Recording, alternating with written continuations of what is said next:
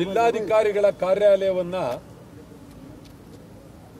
ಮುತ್ತಿಗೆ ಹಾಕುವ ಕನ್ನಡ ಚಳುವ ಅಟಲ್ ಪಕ್ಷದ ಈ ಕಾರ್ಯಕ್ರಮದಲ್ಲಿ ಎಲ್ಲ ಕನ್ನಡ ಪರ ಸಂಘಟನೆಗಳು, ರೈತ ಬಾಂಧವರು ಎಲ್ಲರೂ ಭಾಗವಹಿಸಿದ್ದಾರೆ. ನಾನು ಅತ್ಯಂತ ಗೌರವದಿಂದ ಅವರಿಗೆ ಅಭಿನಂದಿಸ್ತೇನೆ.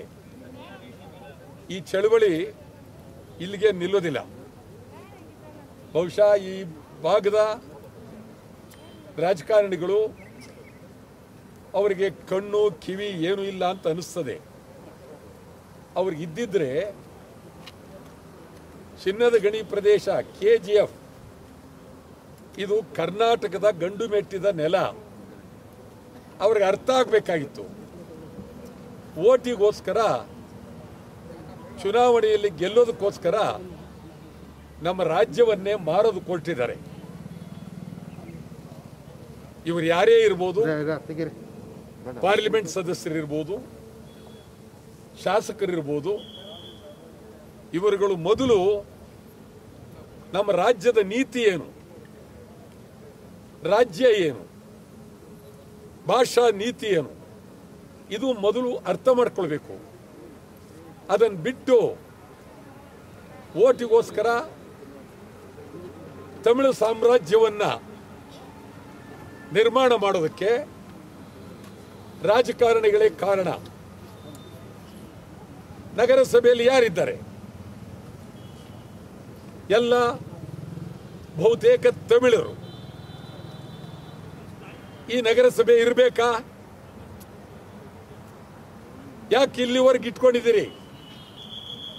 ಪಾರ್ಲಿಮೆಂಟ್ ಸದಸ್ಯರಿಗೆ ನೇರವಾಗಿ ಕೇಳ್ತೀನಿ. ಶಾಸಕರಿಗೆ ನೇರವಾಗಿ ಕೇಳ್ತೀನಿ. ನಿಮಗೆ ಕನ್ನಡದ ಅಭಿಮಾನ ಇದ್ರೆ,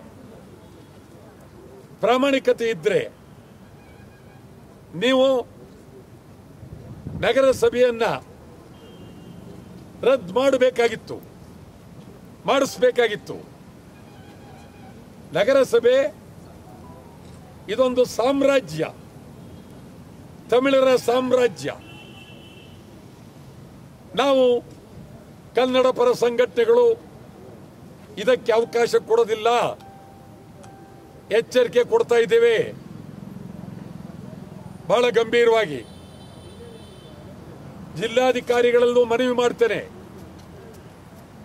ಮತ್ತು ಕೆಜಿಎಫ್ ಎಸ್ ಪಿ ಸೇರಿದಂತೆ ಎಲ್ಲ ಅಧಿಕಾರಿಗಳಲ್ಲೂ ಮನವಿ ಮಾಡ್ತೇನೆ. ಕೆಜಿಎಫ್ ಮುತ್ತಿಗೆಗೆ ಮುಂಚೆ ನಾಮಫಲಕವನ್ನು ತೆಗಿಸಿ. ಇದು ತಮಿಳ್ನಾಡಲ್ಲ, ಕರ್ನಾಟಕ. ತಮಿಳ್ನಾಡಲ್ಲ, ಕರ್ನಾಟಕ. ಜಿಲ್ಲಾಧಿಕಾರಿಗಳು ನೀವು ಕರ್ನಾಟಕದವರು. ಎಸ್ ಪಿ ಕರ್ನಾಟಕದವರು. ನಿಮ್ಮ ಗೌರವದ ಪ್ರಶ್ನೆ ವೈಯಕ್ತಿಕವಾಗಿ ನಾನು ನಿಮ್ಮನ್ನು ಕಳಕಳಿಯಿಂದ ಮನವಿ ಮಾಡ್ತೀನಿ. ಕೂಡಲೇ ಮುತ್ತಿಗೆ ದಿನಕ್ಕೆ ಮುಂಚಿತವಾಗಿ ತೆಗಿಸಲೇಬೇಕು. ನಾವಂತೂ ಬಿಡೋದಿಲ್ಲ. ನೀವು ತೆಗಿಸ್ತಿರೋ ಬಿಡ್ತಾರೆ ಬಿಡೋದಿಲ್ಲ. ಕೆ ಜಿ ಎಫ್ನಲ್ಲಿ ಇವತ್ತು ಎಸ್ ಪಿ ಅವರು ಎಲ್ಲ ಕನ್ನಡ ಪರ ಸಂಘಟನೆಗಳನ್ನ ಸಭೆ ಕರೆದಿದ್ದಾರೆ. ಎದುರಿಸಬೇಡಿ. ಹೆದರಿಕೆಗೆ ನಾವ್ಯಾರು ಬಗ್ಗೋದಿಲ್ಲ. ಎದುರಿಸಬೇಡಿ ಪೊಲೀಸರು ನೀವು ಕರ್ನಾಟಕದವರು. ಕನ್ನಡಿಗರು. ಮೊದಲು ಕನ್ನಡ, ಕರ್ನಾಟಕ. ಇದು ರಾಜಕೀಯದ ಪ್ರಶ್ನೆ ಅಲ್ಲ. ಕೆ ಜಿ ಎಫ್ ಕನ್ನಡ ಆಗಲೇಬೇಕು. ಬೇರೆ ಮಾತಿಲ್ಲ. ಕನ್ನಡ ನಾಮಫಲಕ ಹಾಕೋವರೆಗೂ ಹೋರಾಟ ನಿರಂತರ. ಜೈಲ್ಗೆ ಹಾಕ್ತೀರಾ? ರೆಡಿ. ಏನು ಮಾಡಿದ್ರು ರೆಡಿ. ನಾವು ತಯಾರಾಗಿದ್ದೇವೆ. ಇದು ಬಹಳ ಗಂಭೀರವಾದ ಪರಿಸ್ಥಿತಿ. ಕರ್ನಾಟಕದ ನೀತಿ, ಕನ್ನಡ ಭಾಷೆ. ಇಲ್ಲಿ ಸರ್ವ ಭಾಷೆಯ ರಾಜ್ಯ ಅಲ್ಲ ಇದು. ತಮಿಳ್ನಾಡಲ್ಲ. ನೀವಿಲ್ದವರು ಈ ರಾಜ್ಯದಲ್ಲಿ ಇದ್ದೀರಿ ಇಲ್ಲಿ ಆಹಾರ, ನೀರು, ನೆಲ ಎಲ್ಲವನ್ನು ಪಡಿತಾ ಇದ್ದೀರಿ. ಆದರೆ ಭಾಷೆ ತಮಿಳ್ನಾಡು ಅಂತ ಆದರೆ ನಾವು ಅವಕಾಶ ಕೊಡೋದಿಲ್ಲ. ಯಾವುದೇ ಕಾರಣಕ್ಕೆ ಅವಕಾಶ ಕೊಡೋದಿಲ್ಲ. ಆದ್ದರಿಂದ ನಾವು ಇವತ್ತು ಎರಡು ಕಾರ್ಯಕ್ರಮಗಳು, ಸ್ವಲ್ಪ ಕಾರ್ಯಕ್ರಮದಲ್ಲಿ ವ್ಯತ್ಯಾಸ ಆಗಿದೆ. ಇಪ್ಪತ್ತಾರನೇ ತಾರೀಕು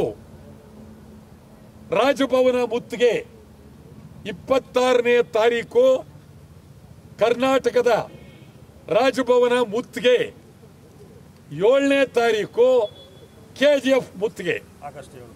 ಆಗಸ್ಟ್ ಏಳು ಇನ್ಯಾವುದಪ್ಪ? ಏಳನೇ ತಾರೀಕು ಆಗಸ್ಟ್ ಕೆ ಜಿ ಎಫ್ ಮುತ್ತಿಗೆ. ಇಪ್ಪತ್ತಾರನೇ ತಾರೀಕು ರಾಜಭವನ ಮುತ್ತಿಗೆ.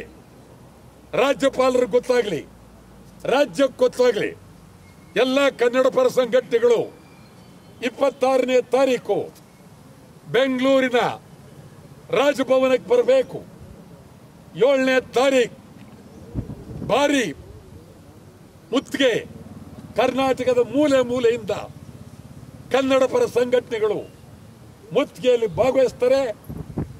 ಎಲ್ಲರನ್ನು ನಾವು ಕಳಕಳಿಯಿಂದ ಕರೆದಿದ್ದೇನೆ, ಕರಿತಾ ಇದ್ದೇನೆ ಈ ಮೂಲಕ, ಕೈ ಮುಗಿದೇರ್ತಾ ಇದ್ದೀನಿ. ಎಲ್ಲರೂ ಬನ್ನಿ. ಇದು ಕನ್ನಡ ಉಳಿಸಬೇಕಾಗಿದೆ. ನಿಮಗೆ ಗೊತ್ತಿಲ್ಲ? ಹಿಂದೆ. ರೈಲು. ಅದನ್ನ ಕಿತ್ತಾಕಿ, ಚಿಕ್ಕ ರೈಲನ್ನ ಕಿತ್ತಾಕಿದ್ರು. ಹೋರಾಟ ಮಾಡಿ, ಇದೇ ಕೋಲಾರ ಜಿಲ್ಲೆಯಲ್ಲಿ ರೈಲನ್ನು ನಾನು ಉಳಿಸಿದ್ದೇನೆ. ಅದು ಒಂದು ಐತಿಹಾಸಿಕವಾದಂಥ ದಿನ. ಇವತ್ತು ನಾನು ಕೇಳೋದು ಕೆ ಜಿ ಎಫ್ನವ್ರಿಗೆ. ನಿಮ್ಗೆ ಯಾಕೆ ಬೇಕು? ಈ ಊರಿನಲ್ಲಿ ಇರೋರು ನೀವು? ಕನ್ನಡ. ನೀವು ಕನ್ನಡದ ಬಗ್ಗೆ ಇರಬೇಕು ಹೊರತು? ಕನ್ನಡ ಬಿಟ್ಟು ತಮಿಳು ಬೇಕು ಅನ್ನೋದು ಯಾಕೆ? ತಮಿಳಲ್ಲ ಇಲ್ಲಿ. ಕನ್ನಡ. ಕರ್ನಾಟಕದಲ್ಲಿ ಕನ್ನಡ. ಕೆ ಜಿ ಎಫ್ನಲ್ಲಿ ಕನ್ನಡ ಹಾಕ್ಲೇ ಬೇಕು. ಕನ್ನಡ ಬಿಟ್ಟು ಬೇರೆ ನಾಮಫಲಕ ಬರಕೂಡದು. ಎಚ್ಚರ. ಇಪ್ಪತ್ತಾರು. ರಾಜಭವನ ಮುತ್ತಿಗೆ. ಏಳನೇ ತಾರೀಕು ಕೆ ಜಿ ಎಫ್ ಮುತ್ತಿಗೆ ಸಮಗ್ರ ಕನ್ನಡಿಗರು ಬರಬೇಕು.